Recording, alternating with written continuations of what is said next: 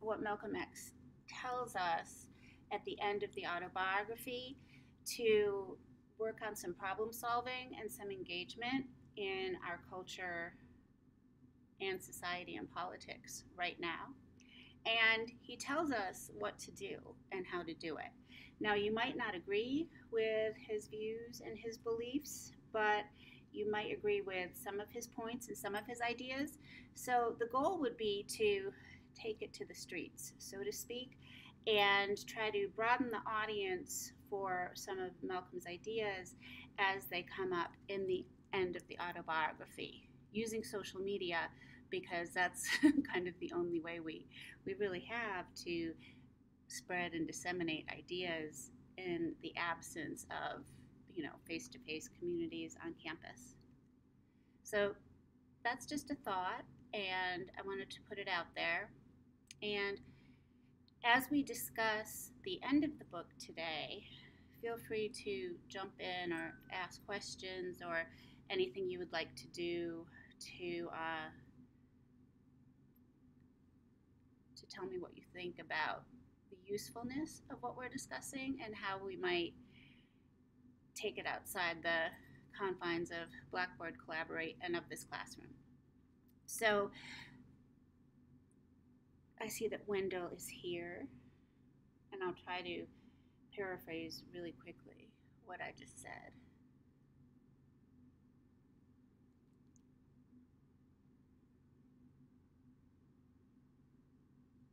Wendell, can you hear me?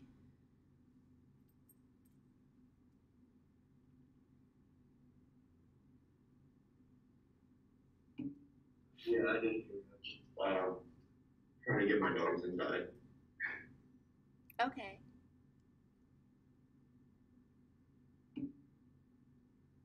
You're trying to get your dogs inside? Yeah, got one of them, and the other one likes to patrol the yard. Yeah. Well, there's a harvest moon, so apparently there are lots of interesting things to patrol. As you can see, if you have your camera working, I have a dog in my lap and another one on the floor. Or she's the reason why we can't have small animals in our yard because she's brought me rabbits, birds, Mhm. squirrels. She always brings them to me alive, but they're always terrified. Oh my gosh. And then are you able to set them free? Yeah, I usually have to get her inside so she can't see me set them free. But Okay. she's always so proud of herself. Yeah. Yeah, my um, cat brings me dead things. So the cat brings dead little rodents all the time. But she, I was really sad the other day because she caught a chipmunk and killed it. And she was having a really good time with it, even though it was dead. And I love chipmunks, and the squirrels bully them so much that I felt badly. But the biggest uh, issue we have is that the poodle, who is otherwise a really wonderful dog, if you don't mind that she goes jogging loose around upstate campus all the time, the poodle can't resist the guinea pigs. So we have a guinea pig graveyard at our house. And the poodle, Cecilia, has murdered five guinea pigs. And if, if PETA finds out, they're just going to, you know, confiscate the rest of the hamsters and guinea pigs. However, yeah, that's that's our fun and games for the morning. So, um, back to talking about the end of autobiography of Malcolm X. I, eh, reading the end of it, I'm always so moved that I want to spread the news and share the ideas. And I was thinking that an interesting, non conventional way that, especially for those of us doing the upper division form of the class, an interesting way that we could work on the project is to um, create some public social media discussions about some of Malcolm X's ideas. So, uh, Leonard, you said you use Instagram and Facebook. Jared says he uses Facebook. And Tyler says no thank you to social media. I think Instagram right now is one of the better integrated media with uh, with what is going on in upstate because the Instagram, to, to my knowledge, Instagram accounts for multicultural affairs and for some of the student organizations, such as the NAACP, are pretty active.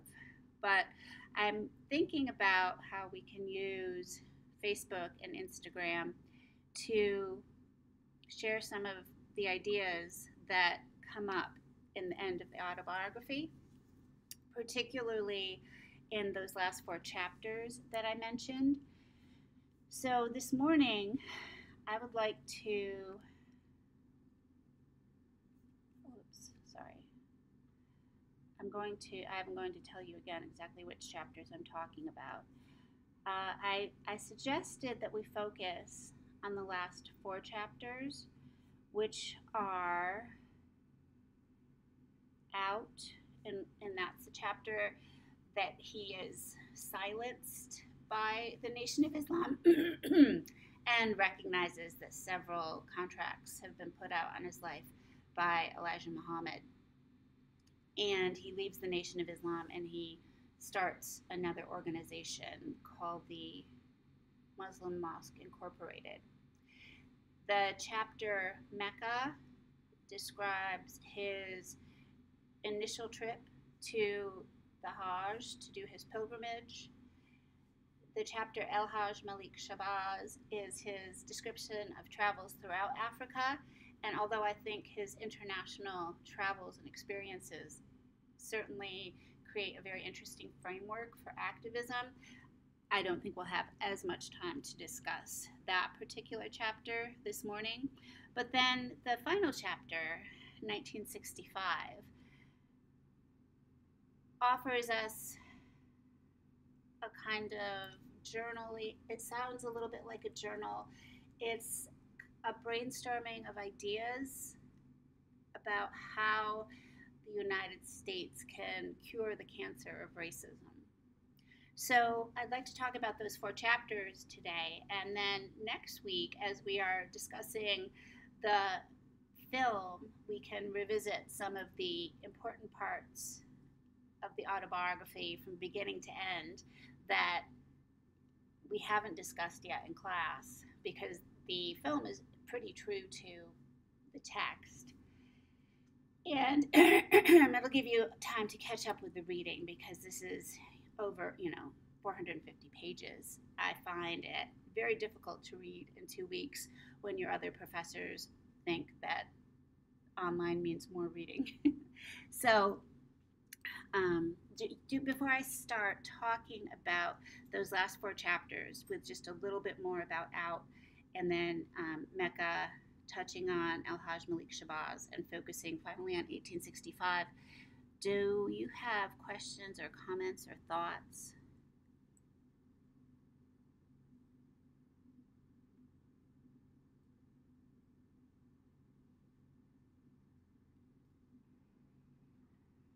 Okay, I will proceed then.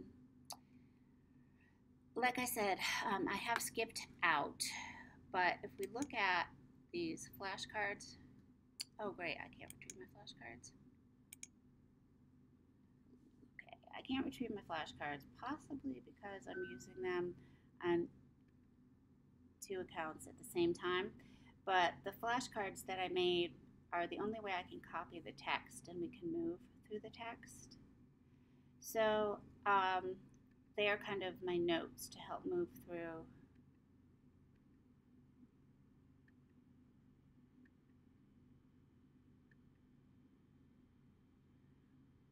to move through the text. So the first thing, actually, I'm going to go back to the end of the chapter out, which we described, discussed briefly the other day, and look at a few moments at the end of.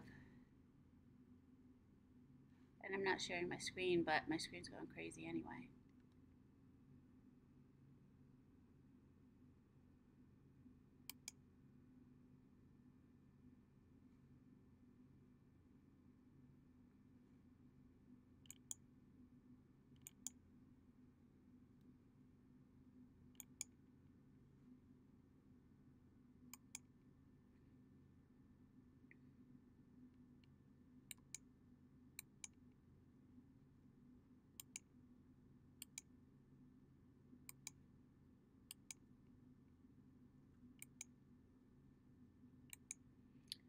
So I've had to go back to Firefox on this stupid computer because I'm trying to. I thought they fixed the computer the other day, and of course it's not really working. So I'm just going to close this out for a second and I will be right back on my computer because COINTELPRO runs this computer. So I'll be right back. I have my other computer opened already.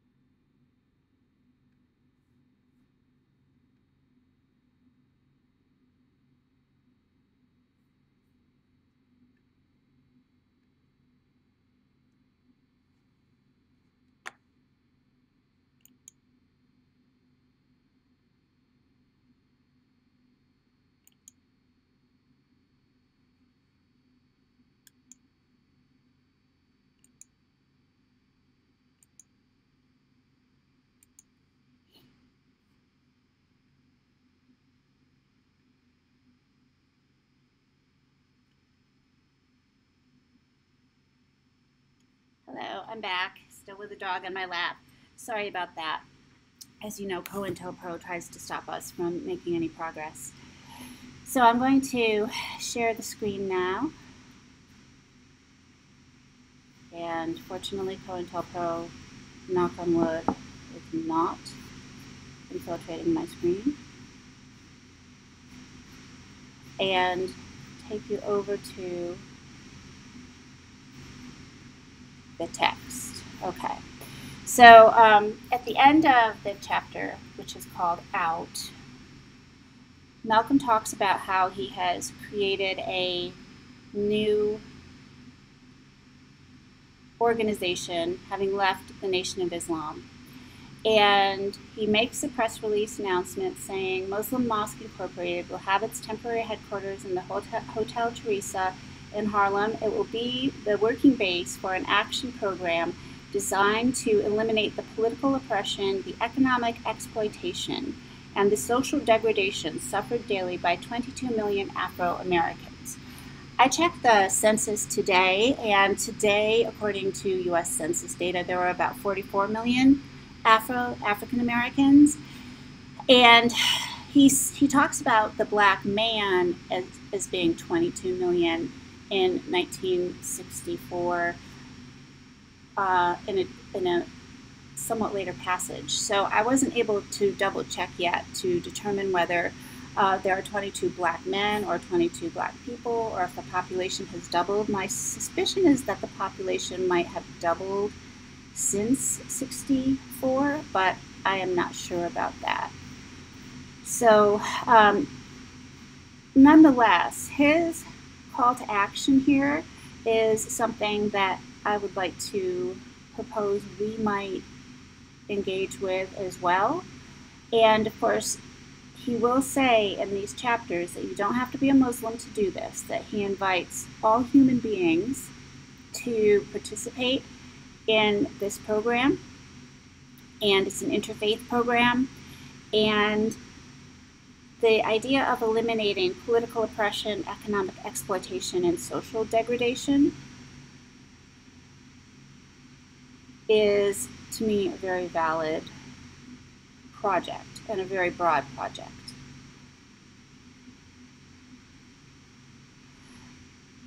Then he says uh, that he is in agreement 100% with racists to say that no government laws ever can force brotherhood.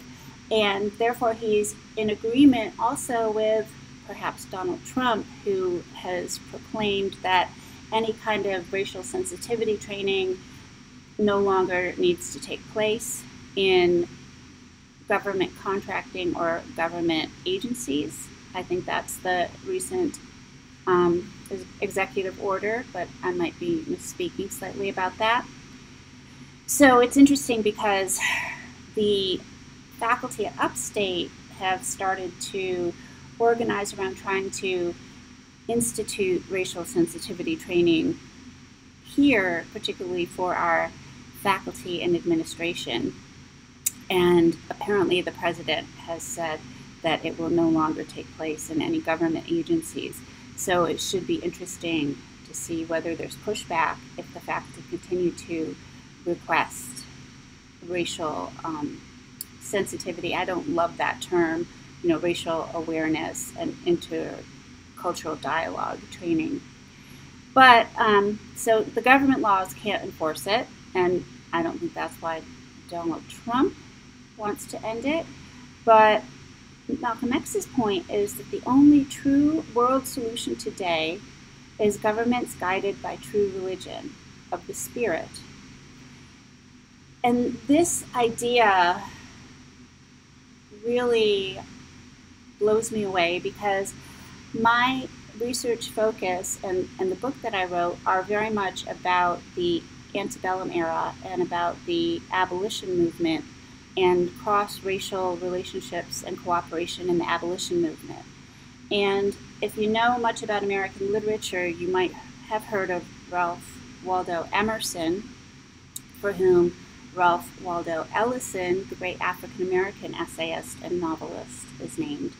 But Ralph Waldo Emerson is known as a transcendentalist and the father of American literature.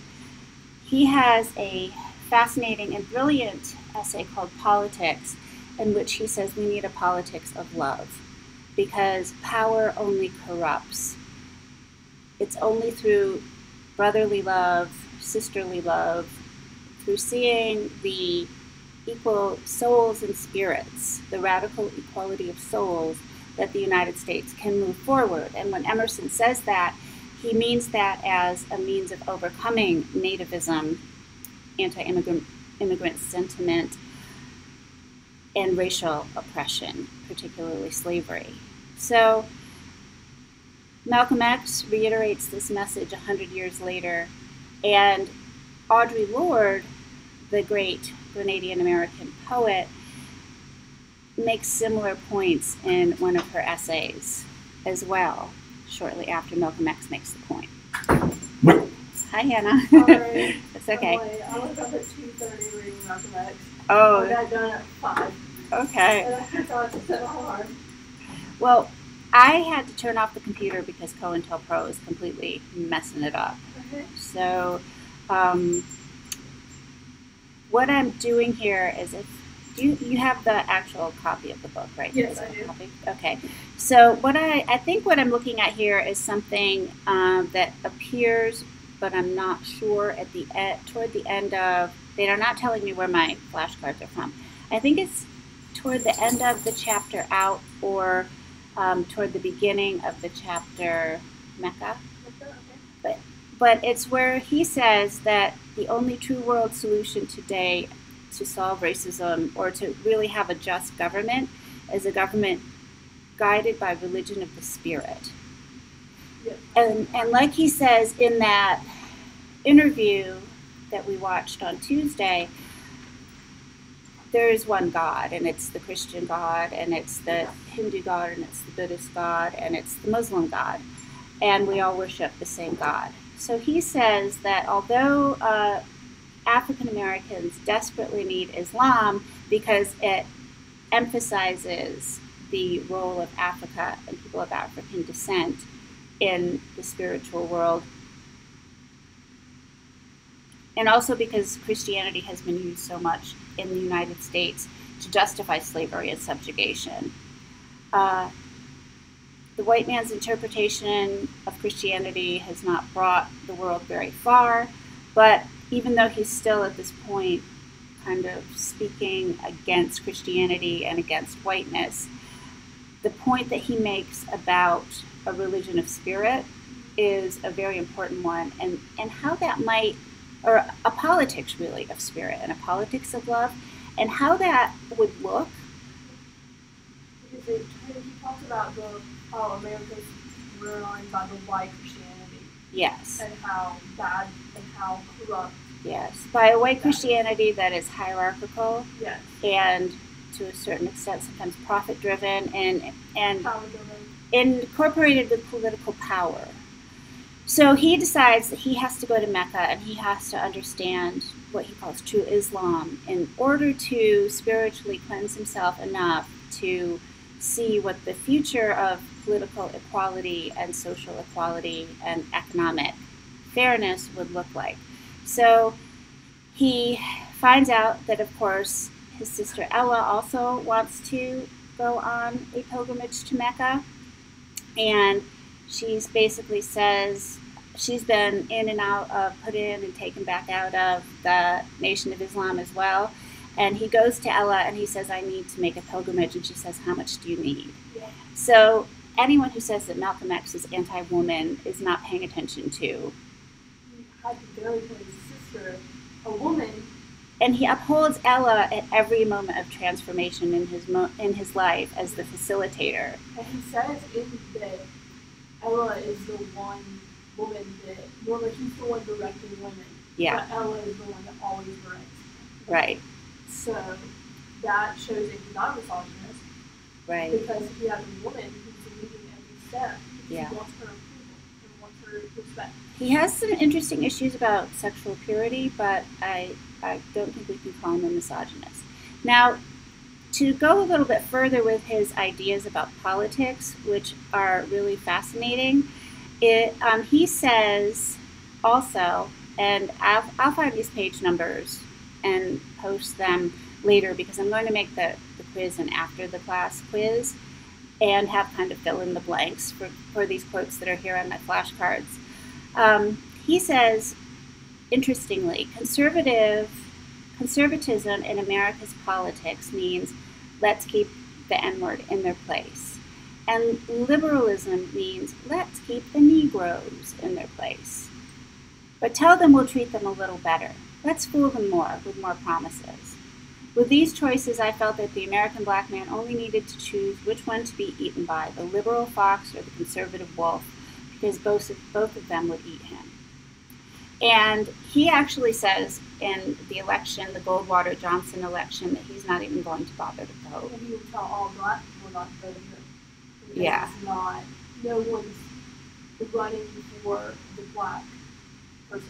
Right. They're running for the white people. And um, and I don't want to take that message to the streets, but you know, I want people to vote. Yeah. But I think the calling calling things out for what they are and saying our politics is corrupt because neither liberals nor conservatives have true equality in their Even sights, even today, um, I think is something to think about. I also think there's some power in addressing that comment because let's say we start an organization for coalition politics at USC Upstate.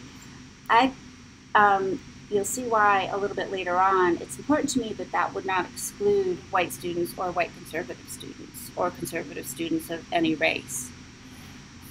At the same time, we do have black student organizations, and black nationalism, uh, as we have already discussed, is important. And Malcolm gives a great explanation for why black nationalism is necessary and why whites cannot join his initial organization.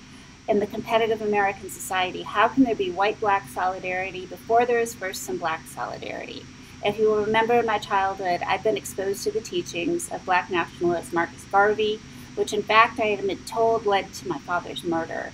Even when I was a follower of Elijah Muhammad, I had been strongly aware of how the black nationalist political, economic, and social philosophies had the ability to instill within black men the racial dignity, the incentive, and the confidence that the black race needs today to get up off its knees, to get on its feet, get rid of the scars, and to take a stand for itself. Now, um, today we might still see that comment as a little bit condescending.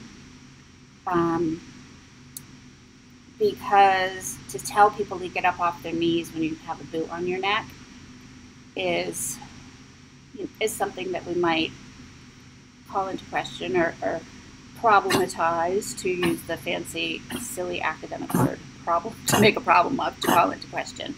Cappy, just follow bug. Yeah, Cappy doesn't like that comment. Um, so when he goes to um, speak to people throughout the world about on his trip to Africa, he says they had been aware that the plight of the black man in America was bad, but they had not been aware that it was inhuman, that it was a psychological castration. These people from elsewhere around the world were shocked. As Muslims, they had a very tender heart for all unfortunates and very sensitive feelings for truth and justice. And everything I said to them, as long as we talked, they were aware of the yardstick that I was using to measure everything. That to me, the earth, the earth's most explosive and pernicious evil is racism, the inability of God's creatures to live as one, especially in the Western world. So, in contrast to his idea of the politics of love and of the spirit, we have the pernicious evil of racism. And this new definition of racism is the inability of God's creatures to live as one. So, that uh, shakes up our previous definitions as well. He writes to his friends that he has had enough of someone else's propaganda. He says, I'm for truth, no matter who tells it. I'm for justice, no matter who it is for or against. I'm a human being first and foremost. And as such, I'm for whoever and whatever benefits humanity as a whole. And again, in terms of black nationalism, that sounds like it could be almost contradictory. He, um, but, but you don't have to be anti-white to be pro-black. You don't have to be less devoted to humanity to be pro-black. And and and that's something that needs to be part of the conversation much more broadly in the United States today. Um, and for what whatever benefits humanity as a whole, well, to have complete equality and respect and recognition for different cultures, as far, my, as far as I'm concerned, is what's going to save humanity. So, white people who are racist are, are really hurting themselves as well as um, causing tremendous damage to the nation, in particular, uh, damage to certain communities. Is what white people are when they're racist. They're staying stuck in the Yeah. that they are just shutting themselves off. It's like somebody Yeah. told you about people. Right. There's a great line at the end of one of the chapters where someone driving by says, Hey, do you mind shaking hands with a white man? And he says, Hey, um, I'll shake hands with any human being. Are you a human being? And so to, to, um, to voice those two things simultaneously is something that I think helps us get past the Black Lives Matter, Blue Lives Matter, any lives matter artificial controversy. You know, yes, Black Lives Matter, and yes, um, we need to, for the benefit of humanity as a whole, recognize that Black Lives Matter. He talks about revolution, which is destroying an old system and replacing it with a new system.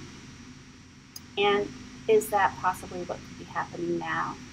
Um, the Algerian Revolution, throughout the French who had colonized them for over 100 years.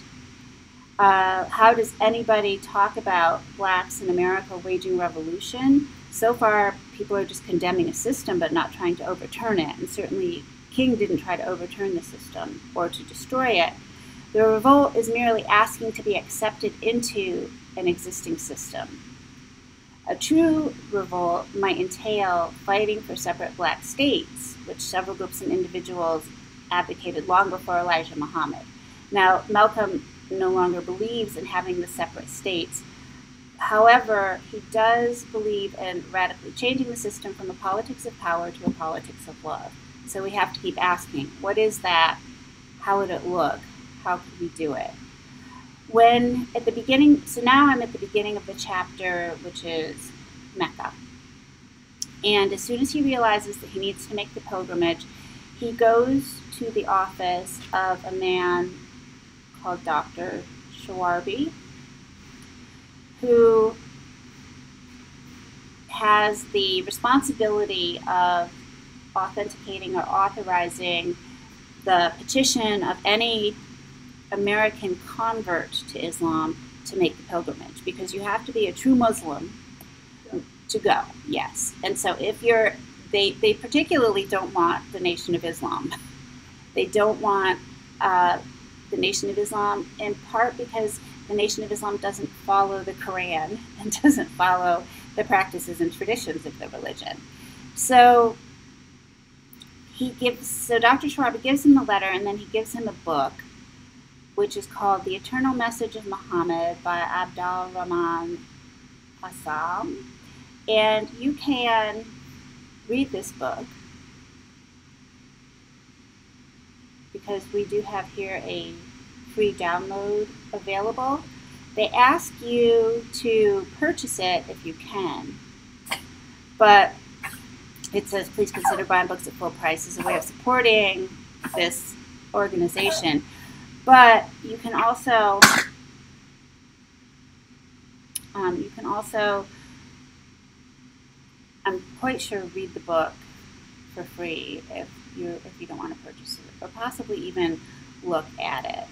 So I, I believe you can look at the digital copy of this. If not, there is there are PDFs and available copies of it to understand this particular religious model, perhaps of a politics of love. And I'm going to now go back to the example. So he gets his letter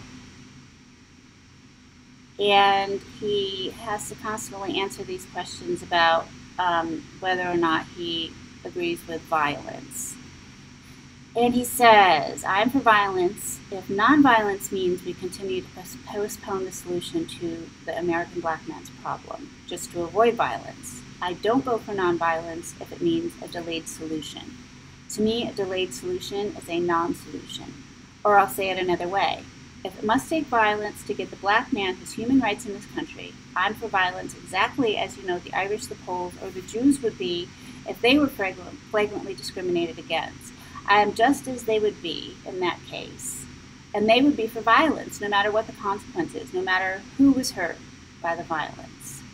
So that is a that's a, that is a a little bit more militant statement, and that is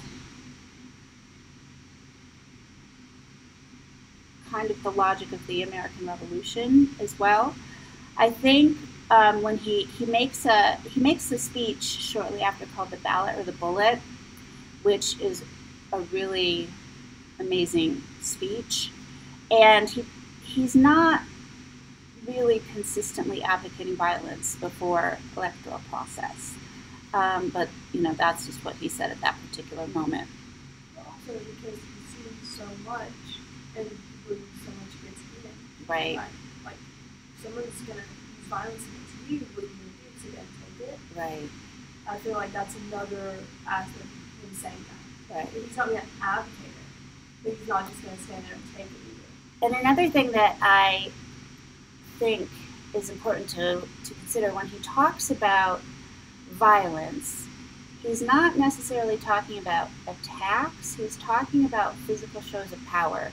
So when one of the Muslim brothers is beaten by the police and thrown in jail, and it's a great scene in the movie, all of the men in the Nation of Islam march out in their bow ties and their suits and take a stand, and the police back down. And shortly after the movie Malcolm X came out, the, um, the Nation of Islam is still pretty active in Philadelphia, and I was living in Philadelphia.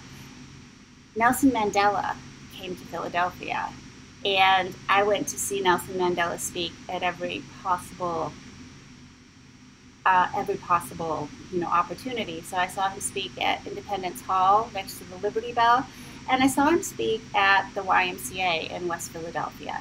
And the security detail was the Nation of Islam, and so it was the same thing that you saw in the movie.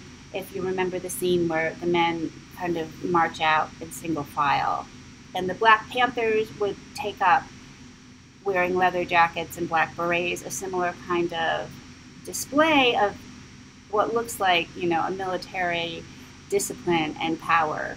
Um, and it's so it's not what we normally think of as a display of violence, but it's a display of physical power and don't mess with me. In contrast to that, his depictions of the Muslim world and the politics of love and of the spirit kind of begin with when he talks about the, the rug. And he's at the airport still, and he talks about how Muslims use their rugs. They, um, they pray on their rugs. Then they put a tablecloth over the rug and it becomes the dining room table. They take away the dishes and the cloth and they sit together on the rug and it's their living room.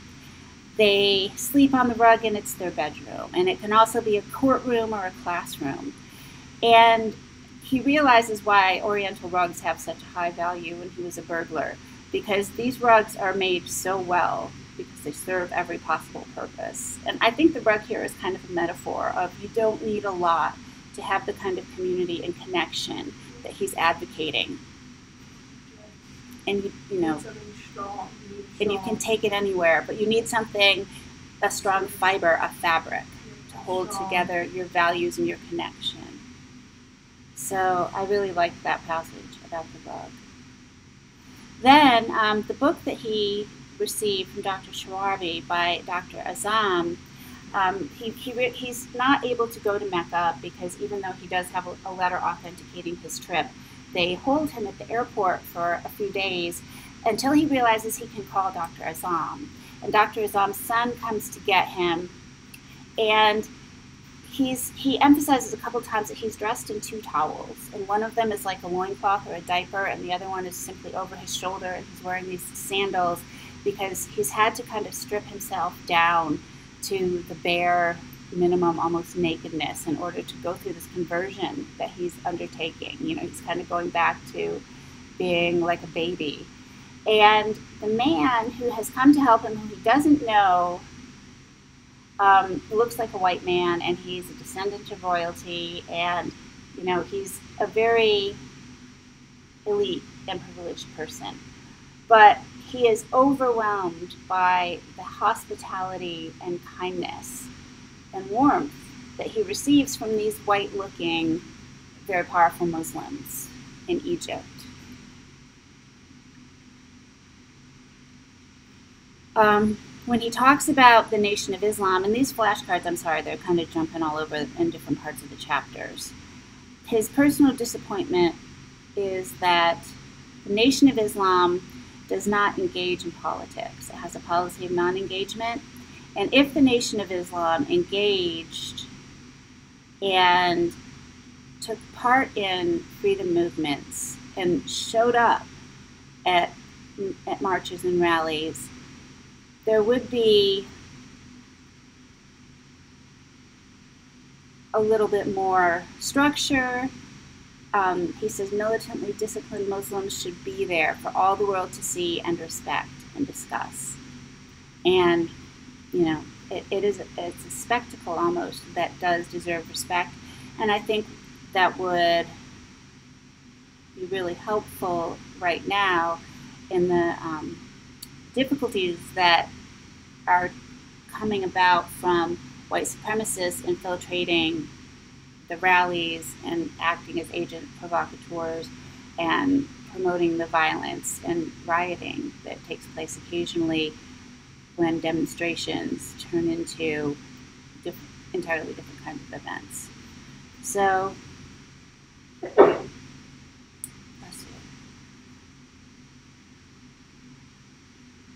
So after he meets Azzam, he starts to, even after his flight to Egypt, when he meets this white student from France who, um, It's a shock to yeah, That was really was, I, this is unbelievable to see. Yeah. And he was like, yeah.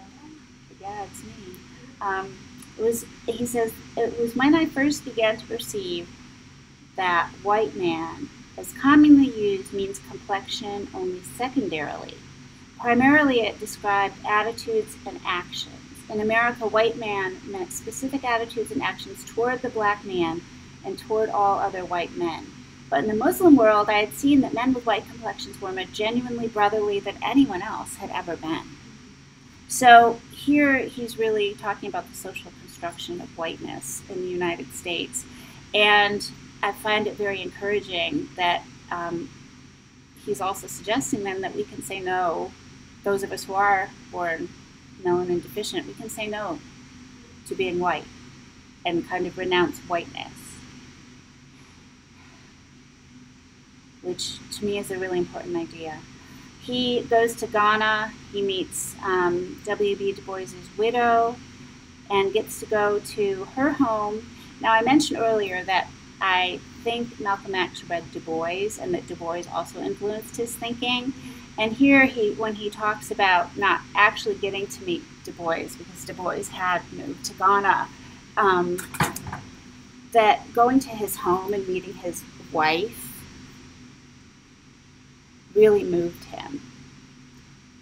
The militant Afro American scholar who was treated like a king by Kwame Nkrumah, giving Dr. Du Bois anything he could wish for in Ghana. When Dr. Du Bois was failing fast, Dr. Nkrumah visited and the two men said goodbye, both knowing that one's death was near and Dr. Nkrumah had gone away in tears. And, and note here, he calls W.E.B. Du Bois the militant Afro American scholar. So, you know, what does he mean by violence and what does he mean by militant? W.B. Du Bois never raised his fist to anyone. However, Du Bois did write about the Haitian Revolution and the Haitian revolutionaries very powerfully. He wrote about John Brown, the white man who um, was inspired by the Haitian Revolution to try to bring justice to the United States. So we have to question what militant means. He meets also a colony of expatriates, which mean Americans living in Ghana, who are there to kind of help him make his tour of Ghana, his homecoming. So, in what seemed at no time at all, he was in Mayfield's home, surrounded by 40 black American expatriates. They had been waiting for him. They were business and professional people, such as the militant former Brooklynites. And again, militant, you know, what does that mean? Two dentists well, okay, dentists are militant. They pull out your teeth. But people who renounced their U.S. citizenship and went to uh, Ghana, including Maya Angelou. And Maya Angelou, who you may know for her poetry and for her autobiography, I Know Why the Caged Bird Sings, which brings us back to the Dunbar poem, was a close friend of Malcolm X.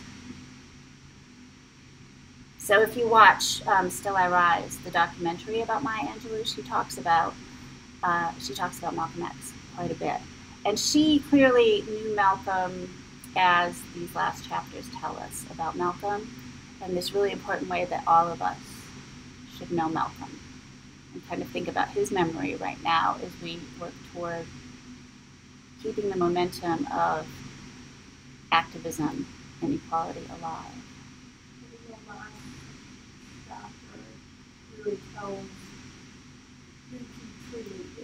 Yeah. Yeah. I got a clearer picture from the last chapter of who he is Right. as a person, what you wanted to achieve, his, his deeper thoughts. Like, And a set of ideas and definitions that are still very, very useful to us. So that's why I made these flashcards. Um, he tells, I don't remember who he tells, even though I just made these, but what you are telling me is that it isn't the American white man who is a racist, but it's the American political, economic, and social atmosphere that automatically nourishes a racist psychology in the white man. The American black leader's most critical problem is lack of imagination. His thinking, his strategies, if any, are always limited to only that which is either advised or approved by the white man. And the first thing the American power structure doesn't want is any blacks to start thinking internationally. But Garvey thought internationally, and look what happened to him. so this is where um, Malcolm X is ahead of his time because he understands that we're, we're in a global world here, you know.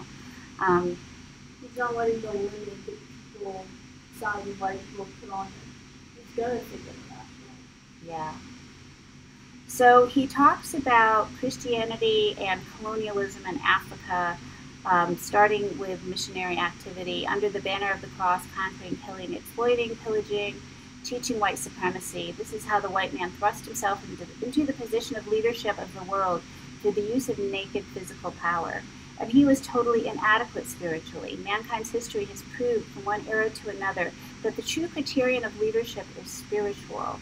Men are attracted by spirit. By power, men are forced. Love is engendered by spirit. By power, anxieties are created. And that um, that that's kind of blowing my mind because he has also said he is not against violence. So, what does violence mean if it's grounded in this spirit that he has invoked? Now, there is a there's an historical kind of political science and philosophical tradition in this grounding in spirit and politics of love because Ralph Waldo Emerson, for example, gave money to John Brown. He paid for some of the guns that John Brown would try to use in Bleeding Kansas. But he was an advocate of the politics of love. There's uh, one of my favorite films is by some Jesuit priests, and it's about colonization in South America. And it's about a Jesuit priest who tries to save a mission that is truly a spiritual mission among indigenous people in the rainforest.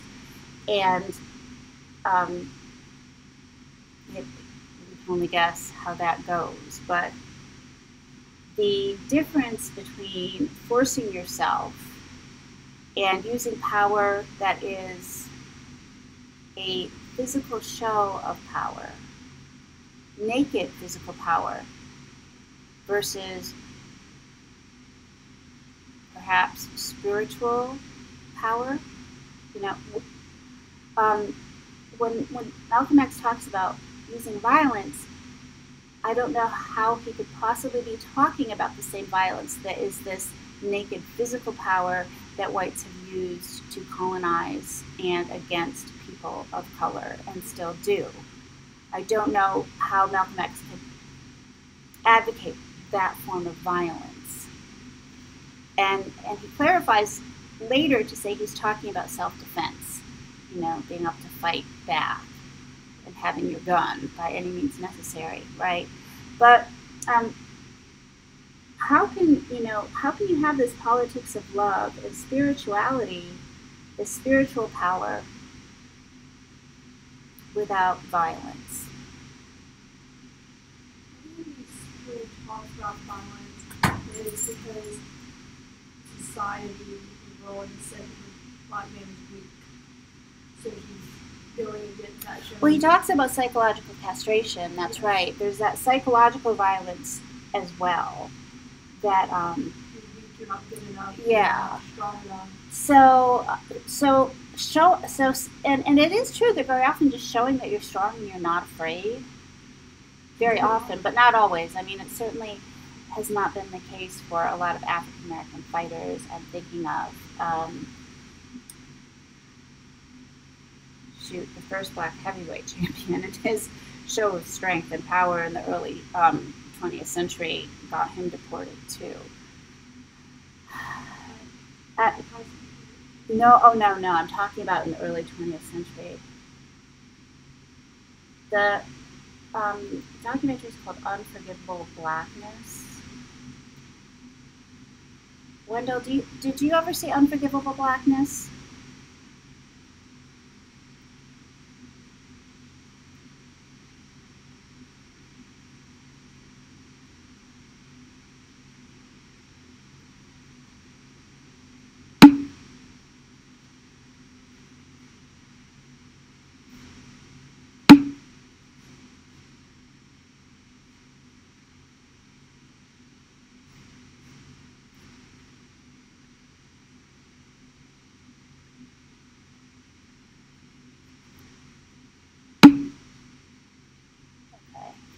I'll remember. I'll remember his name as soon as class is over. Anyway, um, so I'm, I'm really curious, and I want to know more about this this form of power, and how that correlates with self-defense, and and what does that look like? Because Americans' racism is among their own fellow whites. That's where the sincere whites who really mean to accomplish something have got to work. So this is this is another call to action, and he um, talks about the young woman who came to the restaurant, to the Nation of Islam restaurant in New York City from her college in New England, and said, "Hey, I want to help. What can I do?" And he, and he told her, "Go away. You can't do nothing. Don't do anything." And like I said, I, I've um, been told something to that effect before as well. And I feel like that's so harsh because you're trying, you're not doing it in a arrogant way like the white um, racist people would, like, oh, well, what, the-" like, you know what I mean? Like, Yeah. you're trying to advocate and help. It's like now, today, what we, what the Black Lives, Black Lives Matter movement needs is people like you that are from, that are white, that are saying, no, this is gonna hit both sides, not just black. Well, I think I also have to prove myself and earn people's trust. Yeah. So if someone tells me nothing and I, I keep trying and I don't do any of the things that would make me impede black leadership, then um, I, I get to continue on and I won't be told to go away again. But to a certain extent, you know, telling someone the first time to go away is a good test of character. And and I don't think that there is grounds for trust in the United States between all racial and ethnic groups. I think we have to earn that. So, um, at the same time, I feel like a hypocrite when I say this, and I think I have said before, and it may have sounded weird to all of you, that I'm pretty happy that there there is a diverse group of people in this class. There are um, white and Indian and black and possibly other uh, ethnic groups that I am not recognizing, and I apologize for that. Because as a white person, I- don't need to preach to the choir. You know, I don't need to tell black students all the time that black nationalism is good because it promotes social, economic, and political progress. It is really important that I try to accomplish something and do some work. And Malcolm X says this, and Steve Biko says this, and, and I think it is a really important charge. Now, um, that said, last night I did a talk for the first year reading program, and like I said, Mac participated in it, and it, it was more about Mac telling a story about a macroaggression, and um, you know, me just kind of setting the stage for a conversation between him and, and other students. But there was some interest in white becoming a white ally and in coalition politics among those first year students. And there was a really nice conversation that because um, Mac is just such a, a wonderful and kind of accessible, you know, um, charismatic guy, that it, it just went really beautifully, and I'm so grateful to him for that. But there's there's work to do among white students, and I'm, I'm preaching to the choir because the white students in this class already know that African American literature and culture are valuable. But that's why I have also suggested, like, what if we try to start building what we know and reaching out and and creating. And I know you're in a cross-racial relationship anytime you walk in a room because there are there's only one other Indian woman student that I know at Upstate. There might be more than just two, but you're used to being in that you know that um, hybrid space. Going, always being different. Because I've had people, you know, I was at campus think I was black. I've had people think I was black. Because I do get, especially in the summer, I do get very dark. Uh-huh. So I've had people misrepresent my ethnicity I've had Mhm. black girls when I was gonna rush. I went up to one of the black sorties and I was looking at it and they're like, You're not dark enough. And my mom, who's white, looked at me and I was like, I don't think you can pass a paper bag test. That's yeah, that's very that's strange.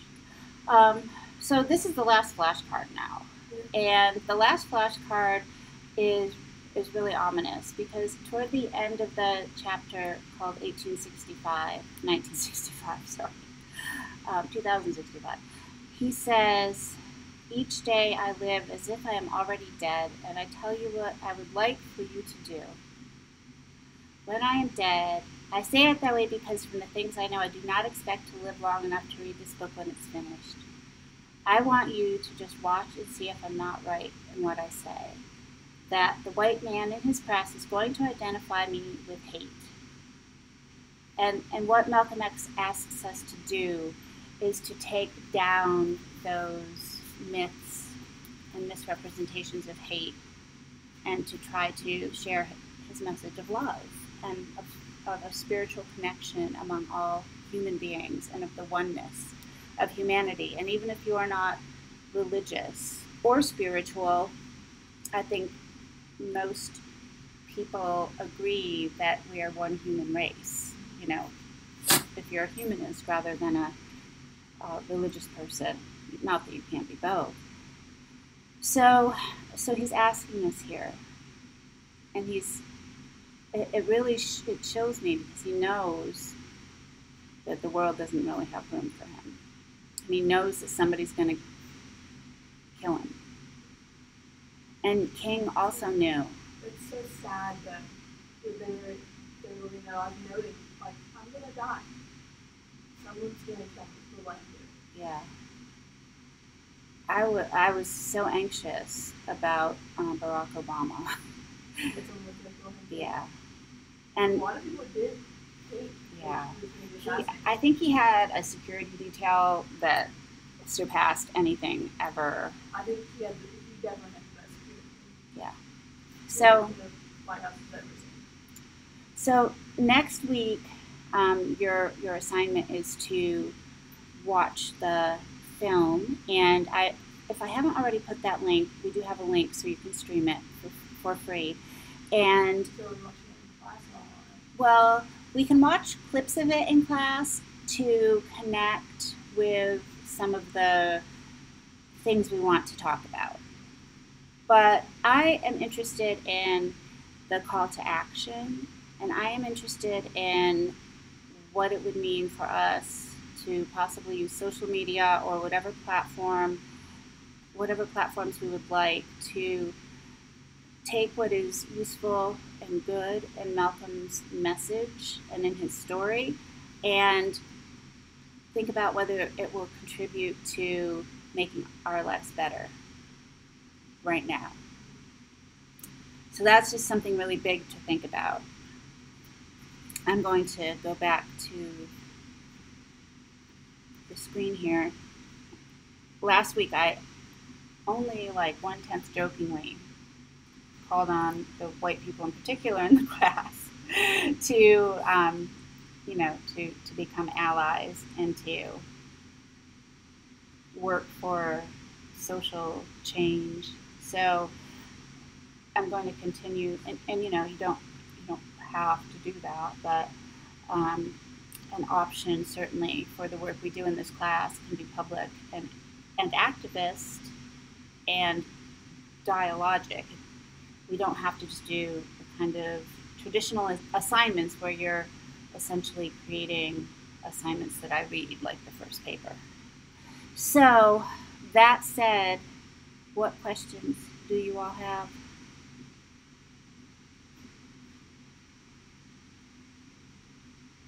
Hopefully, I will have the quiz ready by tomorrow.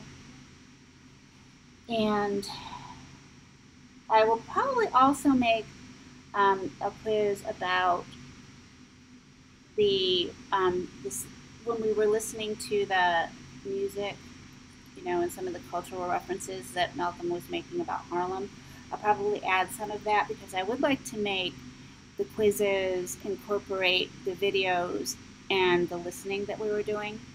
I have now realized that people tend to do their online classes through the gradebook, which is disastrous for the way that I set up classes.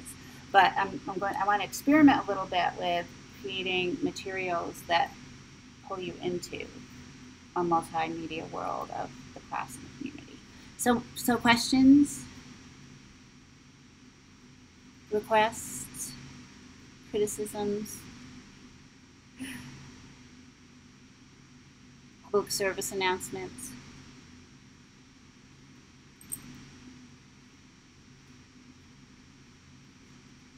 All right, everybody. I will see you next week. Have a great weekend. Yes, I was up two thirty. I don't know. I went to bed at eleven.